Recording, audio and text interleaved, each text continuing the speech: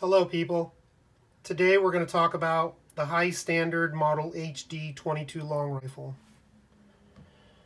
This pistol at one time used to be property of the US military. Manufactured in New Haven, Connecticut by a company called High Standard.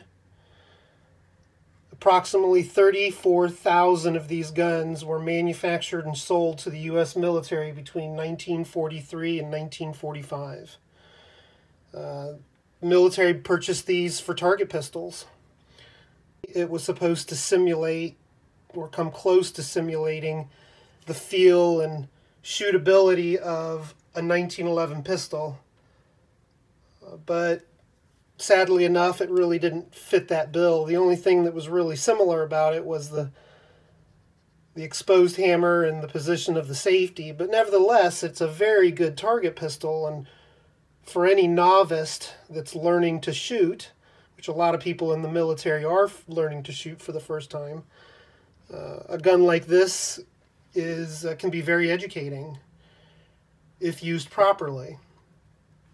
I feel like I shouldn't have to say this, but I'm going to. Guns aren't toys.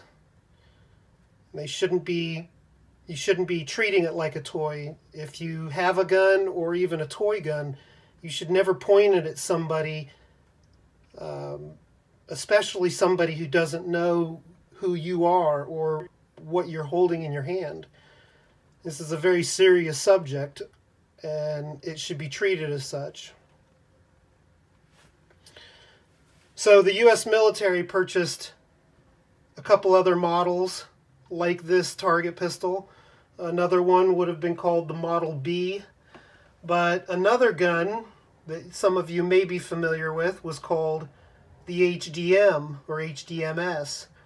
And this pistol was a fully integral suppressed 22 automatic uh, for the use by OSS agents during World War II for secret operations. Uh, these pistols are mostly only seen in museums and in history books today. Very, very few of these are owned by civilians. Uh, as Class 3 paperwork, NFA paperwork is required to own a suppressed version of this pistol. Um, anybody can fill out the paperwork for a suppressed pistol, but there's very few of these original military suppressed pistols available in the public.